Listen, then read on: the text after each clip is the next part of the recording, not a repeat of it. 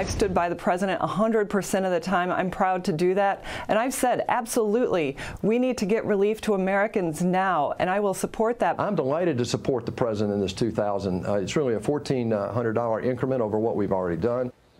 Georgia Senate candidates both throwing support behind the president's push for $2,000 stimulus checks. Mitch McConnell just blocked a fast track vote to send Americans more money. So, how will this impact next week's races? We're asking Georgia native and retired Marine Corps bomb tech Joey Jones. Joey, great to see you. Happy New Year.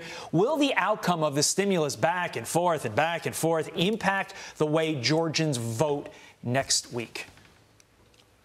You know, I don't think they can win votes by voting for this $2,000. I don't think that most conservatives see it as a positive. They just see it as a necessity. And I think more than anything, they've exposed themselves to attacks by not automatically supporting it. So I think uh, both Senator Loeffler and Perdue saying now that they will support it and support the president, adhering themselves to the president and the president's supporters here in Georgia is probably their safest play. And this whole fight has really put a lot of, uh, you know, a lot of Republicans in a rock and a hard place, but none as much as the two senators running for reelection right now. Joey, about 2.3 million people have already cast their vote in Georgia. You know, the question is who does that favor? Because when you talk about voting early in November's election, that favored the Democrats. And then Republicans were hoping that, you know, in-person voters were going to turn out on election day. What is your what do you what is your sense of what's happening in Georgia as far as early voting and then what will happen next week? You know, it's really difficult for me. I have to be completely honest. I didn't think uh, Joe Biden could win Georgia. I know that there's a lot of allegations of election fraud and certainly some things that don't make a lot of sense.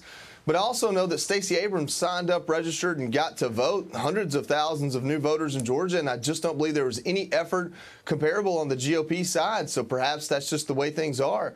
I don't think that more Georgians support Democrat policies, but perhaps many more Democrats showed up to vote. I'm hoping in this runoff, the absence of President Trump tampens that um, you know that vote that shows up to vote against him because I don't think a lot of people were excited about Joe Biden, and I do think Senator Perdue and Senator Loeffler um, they represent Georgia better. I, am not happy with any of these four candidates, to be honest with you. It feels, uh, you know, I said on here the other day, Georgians want to choose between Chick fil A and Zaxby's, two Georgia brands. And what we're getting is perhaps McDonald's and Ruth's Chris. You know, this this idea that you know we have the Buckhead region of Atlanta versus downtown Atlanta. It doesn't feel like the rest of this beautiful, unique state from the Appalachian to the coast is really being represented at all. And um, you know, obviously, I wanted Doug Collins to get this opportunity. He's not there, and I'm just not sure that we have candidates this cycle that are exciting and feel Georgian. But to be fair, you know, Republicans need this because if they lose out on these two seats, then the Democrats control a whole heck of a lot.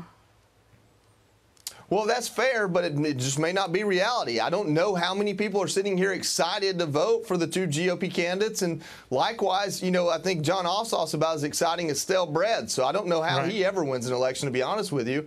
And uh, and so, I, you know, voter turnout's going to be high because the, the, entire country is looking at Georgia. But I can tell you, most Georgians are. Uh, they're excited to get this over with and get all this uh, what we consider foreign interference from right. other states out of our state. We're, wow. we're tired of the chatter and the money and the people, and we're ready to be Georgia again. A brutally honest perspective there from, from Johnny Joey Jones. Um, there's a rallying cry that Georgia really is the last line of defense against this Democrat socialism, this radical socialist agenda. As somebody who lost his legs fighting for democracy, quite frankly, fighting for our capitalist way of life, what message do you have for your fellow Georgians? Well, I appreciate that distinction. I mean, if this country chose a socialist path, we would do it through a democratic manner, and, and we would be forced to figure that out. I don't think that's what most Americans want. You know, I fought for freedom in this country, freedom to choose and self-determination. I think capitalism favors that by and large tremendously. I mean, capitalism is there is a ladder, there's a top run and a bottom run. Your hard work ethic and opportunity decides where you are. That's as American as apple pie. That's what we fought for, and I think that's what this country still wants. I mean, look at all the small business owners that might have been liberal or progressive, and they're starting to put those ideas aside and say, wait just a minute, how can the government shut my business down and take food off my table? I think this has opened a lot of eyes across the country. I don't know if it's opened enough to push back against the most progressive wing of the Democratic Party, but I think it's done enough to show a lot of people that President Trump's been on to something, and I hope that the GOP picks that mantle up, keeps the Trump coalition together, and I hope Georgia is a representation of that. Wow, strong words there. Joey Jones, Happy New Year to you. Always good to have you on, my friend. Love having your perspective. Have Absolutely. a good day. Happy New Year. Great seeing you, sir.